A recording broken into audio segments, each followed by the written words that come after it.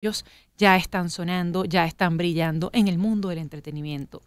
Primero, Shakira, que inauguró el año con esa pieza dedicada a destruir a Gerard Piqué, lo logró y ha tenido muy buena recepción, para bien o para mal. Para quien le guste o no le guste, es una mujer que sigue sonando. Y el actor Brendan Fraser, que a pesar de haber estado pues oculto por mucho tiempo, vuelve a la pantalla y por la puerta grande con esta nueva producción cuyo nombre no recuerdo. Whale. No, ballena. Ballena, ok, y que Shame, estaba cerca. shame es otra cosa. Es otra cosa. Para hablar de esos que están destinados a brillar, además de Shakira y de Brendan Fraser, saludamos a Gonzalo Lázari, quien es editor internacional de Blue Radio en Colombia, además de periodista de entretenimiento. Bienvenido, Gonzalo, ¿cómo está? Bienvenido, un gusto conversar contigo. Un gusto, chicas, el eh, placer es mío. Gonzalo, ¿qué, podemos esperar en términos de, figuras que en el caso de Brendan Fraser están volviendo al ruedo después de, años alejado de las pantallas, de haber incluso estado, haber estado envuelto eh, en quizás una polémica por acoso sexual en medio de la industria del entretenimiento? ¿A quiénes vamos a ver nuevamente brillar en 2023?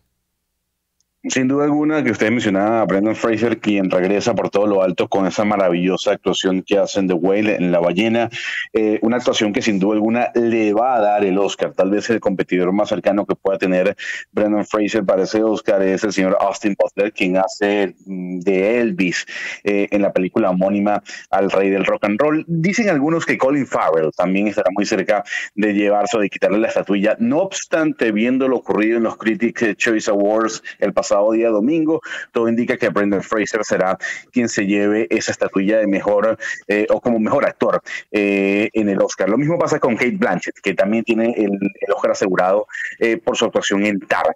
A ver, hablemos de protagonistas para este 2023. Ustedes hablaban de Shakira, efectivamente, no obstante, el día de hoy es titular Miley Cyrus. Miley Cyrus publicó una canción el 13 de enero, fecha de cumpleaños de su expareja Liam Hemsworth, quien es el hermano del, digamos, de, de Thor en los Avengers. Exactamente, fueron pareja por mucho tiempo, ellos se divorciaron a los ocho meses y la ruptura y, la relación de ellos una vez casados, digamos que no fue todo, del todo óptima, ¿no? Mucho, muchos escándalos alrededor de lo que fue ese, ese matrimonio. Pues bien, Miley Cyrus con su canción Flowers, que es una canción dedicada a su ex esposo, ya ha superado a la canción de Shakira que hizo con Bizarrap en Spotify y ya es número uno en el Reino Unido. Una canción que está dando mucho de qué hablar y que habla también, valga la redundancia, del desamor. Así que tenemos a Shakira por un lado y a Miley Cyrus por el otro. Anoten el nombre de Rihanna. Rihanna vuelve al ruedo nuevamente y vuelve al ruedo nuevamente por todo lo alto. Lo hará en el show del medio tiempo del el Super Bowl. Super Bowl que se va a llevar a cabo el 12 o 13, ahí la fecha se, me va, 12 o 13 de febrero en Arizona. Hay que recordar que Pepsi ya no es el eh, sponsor oficial de ese show del medio tiempo, sino es Apple Music, así que Rihanna se espera que interprete canciones nuevas, entre ellas Lift Me Up, canción que la llevó a la nominación de los Globos de Oro como mejor canción original por la banda sonora de eh, Black Panther. Así que Rihanna también dará mucho de qué hablar. Además, una Rihanna que ahora es mamá. Exactamente, que es mamá. Eh, no se sabe si Rihanna en ese show va a cantar con su pareja, el rapero ASAP Rocky. Eh, todo indica que será sola eh, la interpretación que ella haga durante esos 15 minutos del show de medio tiempo en Arizona del Super Bowl. Anoten el nombre de Taylor Swift, las mujeres dando de qué hablar. ¿Y por qué Taylor Swift? Porque Taylor Swift anunció que este año va a publicar un nuevo trabajo discográfico. Recordemos que Midnight eh, el trabajo publicado por Taylor eh, eh, a finales del año pasado fue el álbum más vendido en todo el planeta, sobre todo dentro de lo que significa el formato físico, el formato vinil, más de un millón y medio de copias vendidas en el Reino Unido y se espera que este nuevo álbum de Taylor Swift también sea todo un éxito. Le doy dos nombres más, chicas. Número uno, Madonna. ¿Por qué Madonna? Madonna anunció, sí señora. Y no por las cirugías plásticas. No por la cirugía plástica, no por eh, su actual pareja, que dicen que es su pareja, una mujer, eh, sino por la gira a nivel mundial que realizará. Se acaba de confirmar y así lo publica Billboard que Madonna anunció una gira por todo el mundo para celebrar sus 40 años de carrera artística. Y esa gira la podría estar llevando o trayendo para América Latina, seguramente para los países de siempre, México, Argentina, Brasil, incluso Colombia, pero Madonna ya se conoce que hará un recorrido por esos 40 años de música en una gira que, repito, podría traerla a Latinoamérica. Ahora, ahora, hay otro nombre que deja mucho eh, y que siempre va a dar de qué hablar y es Bad Bunny. ¿Qué va a pasar con el fenómeno de Bad Bunny?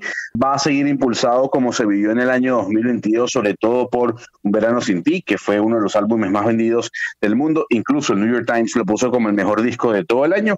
Habrá que esperar porque por los momentos no hay una nueva gira anunciada por el puertorriqueño. Había dicho que se tomaba un descanso en 2023. Y, además, después del incidente del teléfono celular que le lanzó a la muchacha que le pedía una foto o un video, eh, e, eso quedó ahí. Ha habido un pronunciamiento de él. Algo pasó después de eso, porque no sé si es por el receso navideño, no se supo más. Más allá del, del, del celular que le ofreció el colombiano, el vallenatero. Se me fue el nombre, ayúdame que le ofreció un celular. A, ver, Jorge, eh, eh, si, no me creo que fue Jorge Celedón, Celedón. Eh, o Silvestre Dangón, fue Celedón. Los, lo cierto del caso es que más que pronunciamiento hubo un tuit, tuit que fue borrado luego por el cantante diciendo, a ver, toda la persona que se quiera acercar a mí eh, para charlar, para hablar, para conversar, no tengo ningún problema. Ahora, aquella persona que vulnere mi privacidad va a recibir el trato que se merece por irrespetuoso, o sea, el trato de volarle un celular. Ese tweet luego fue borrado. A partir de ese momento no se ha hablado más de la situación con Bad Bunny. O sea, se, se quedó allí, ¿no? Fue Jorge Celedón el que le ofreció el teléfono celular. Jorge Celedón. A este muchacho. Eh, Gonzalo, has hablado en muchas oportunidades de gente que está de regreso y también de clásicos del entretenimiento. Pero ¿qué pasa con esos nuevos nombres, esas figuras emergentes a las que quizás no les hemos prestado tanta atención, que van a brillar este año? ¿Hay alguna promesa de esas que normalmente se conocen cuando son el artista revelación en tal o cual premio? Mire, eh, hay, hay, que ver lo que va a pasar, por ejemplo, en los Grammy que se van a llevar a cabo el 5 de febrero en la ciudad de Los Ángeles. Todo va a indicar que, por ejemplo, Harry Styles se va a llevar la mayoría de premios dentro del galardón o dentro de la ceremonia. Habrá que ver cuál es el impulso que le dan los artistas nuevos. Recordemos que tal vez la gran revelación del año pasado dentro de la música pop fue Olivia Rodrigo. Olivia Rodrigo es una joven eh, que surgió dentro del mundo de Disney que fue muy popular, sobre todo con la publicación de su primer sencillo y luego con el lanzamiento de lo que fue Sour, su primer álbum discográfico, incluso uno de los álbumes más vendidos de toda la de todo el planeta. Por los momentos, yo lo que le puedo decir a ustedes dos es que aquí lo que van a brillar, no sé si serán artistas nuevos, porque también recordemos que los Rolling Stones anunciaron una gira mundial en celebración de su carrera artística. Lo que sí podemos decir es que las mujeres van a llevar la batuta. Eso no hay ninguna duda. Las mujeres este año 2023, eh, como lo fue el año pasado, van a llevar la batuta y ya la están llevando únicamente con Miley Cyrus y con Shakira. Se puede decir que las mujeres reinan en las plataformas digitales a nivel mundial. Pero hablando de, regresos, está el de Blink 182 y además han anunciado una nueva producción discográfica. ¿Qué se puede esperar de esta banda que a muchos nos remonta a, a más bien los años finales de los 90, principios de los 2000? Digamos que Blink 182 regresa a los escenarios y regresa de una manera eh, que, como ustedes bien lo llamaban, eh, apoteósica, por ponerle ese adjetivo calificativo.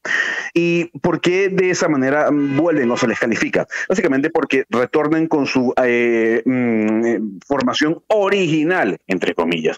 Y digo original porque antes de que llegara Travis Baker, el baterista que todos conocemos por ser pareja de una de las Kardashian, mm, antes de él había otro baterista. Pero digamos que la formación importante, original, famosa, a nivel global de esa agrupación fue con, con Travis en la batería. Pues bien, ellos regresan, regresan con una gira mundial que los llevará entre tantos sitios a Bogotá, Colombia. Recordemos que en Bogotá, Colombia se, se lleva a cabo uno de los eventos más importantes de la música de América Latina, como el Estéreo Picnic, y sin duda alguna deja mucho este, a la expectativa lo que va a ser esa gira de conciertos más allá del nuevo trabajo discográfico, porque las críticas ya han hablado, al menos de la primera canción que publicaron los Blink 182 con esta formación original de regreso, que no es, no es lo que se esperaba. Ahora, sí, la expectativa, al menos a nivel de conciertos, es muy grande. Bueno, entonces esperar quiénes más van a facturar en el 2023, más allá de Shakira, que no llora, sino factura, el resto tiene que pagar esa tristeza en el psicólogo, la que factura es la psicóloga. Los despechos van a dar para mucho entonces en este 2023, no solo el caso de Shakira, sino también el, el, caso de, de Miley Cyrus y el despecho siempre es un tema recurrente también con Taylor Swift. Es, así, sobre todo con canciones que le dedicó en su momento a su expareja Calvin Harris. Y eh, pues, como último dato, eh, aunque no se va a estrenar en 2024, podemos ver que ya el día de ayer se publicó eh, la primera imagen de Marisa Abela. Marisa Abela es una actriz inglesa que está dando mucho de qué hablar por aparecer en algunas series de HBO y de la BBC.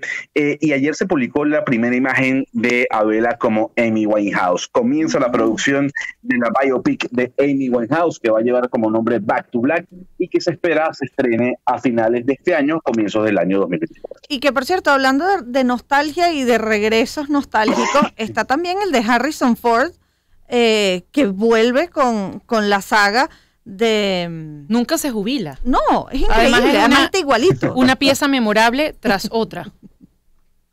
Sí, una pieza memorable tras otra, ¿no? Eh, digamos que también hay, un, hay, un, gran regreso, ya que ustedes están hablando del cine, ¿no? El regreso de James Cameron como director con Avatar 2, una película que digamos, le sobran 85 minutos eh, de toda la película. Eh, no obstante, para los fanáticos de, de, la ciencia ficción y de lo que significa esta historia, es una película que sin duda alguna tiene que estar nominada y así va a estar nominada a los premios Oscar. Si hablamos de serie, bueno, podemos hablar de, de una gran cantidad de, de series y de, y, de, y de nombres que van a hacer eh, justicia por ejemplo, premios. Zendaya, sin duda alguna, con su papel en Euforia, seguirá dando de qué hablar.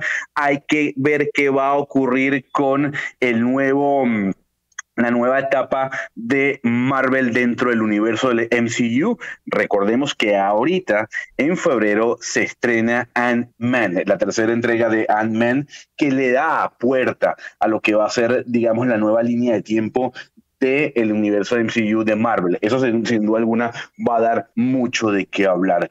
Eh, grandes series se van, otras regresan, eh, como That's 19 Show, eh, la continuación o la secuela de That 70 Show, que ya se puede ver a través de Netflix. así que a la expectativa de lo que va a pasar, sobre todo en, el cine, esperemos, esperemos, y le voy diciendo ese datico, lo que van a dejar los Oscars. Por los momentos, por los momentos, lo que dicen las predicciones de portales como Variety es que la película ganadora o que tiene el mayor chance de llevarse el Oscar es una que se llama todo el tiempo en todas partes, una película que pueden ver a través de la plataforma Apple TV Plus, alquilándola por 5 dólares con 99. Que por cierto, hablaste de That's Nighty Show, que se va a estrenar el 19 de enero, y en el trailer aparecen Mila Kunis, Ashton Kutcher y el de Carigua, Wilmer Valderrama. La Carigua para el mundo. así es, así es. Gracias Gonzalo por haber estado con nosotros, por compartir esas figuras que son clásicos, que nunca mueren, aquellos que estaban retirados pero vuelven a brillar y de los que vamos a hablar. Algunos de los nombres eh, que dio fueron los despechos de Shakira, Miley Cyrus, Miley Cyrus, Taylor Swift, que saben facturar sus lágrimas. Y una gira mundial de Madonna para celebrar 40 años de carrera de la reina del No nos pasa, no nos pasa. No nos pasa. 10.37 minutos. Gracias, Gonzalo, por haber estado con nosotros. Me dio mucha risa cuando Gonzalo dijo las grandes ciudades, eh, Buenos Aires, este, o Río de Janeiro. Nunca pasa. Caracas. No, Caracas fue. Pero por lo menos ya hay algunas aerolíneas haciendo esa frecuencia, así que si usted no se puede perder en la vida un concierto de Madonna. Este año podría ser su oportunidad con esta gira mundial. 40 años y probablemente se parará de cabeza en la tarima, hará cosas que las de 30 ya no podemos hacer. Y ella los sesenta y si puede. Gracias, Gonzalo, por haber estado con nosotros. Gonzalo Lázari, editor internacional de Blue Radio Colombia. 1037, hacemos publicidad. Les hablamos de la clínica